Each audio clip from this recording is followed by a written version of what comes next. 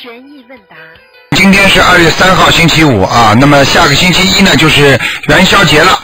那么中国人的元宵节呢，说啊吃吃那个圆子啊，团圆节。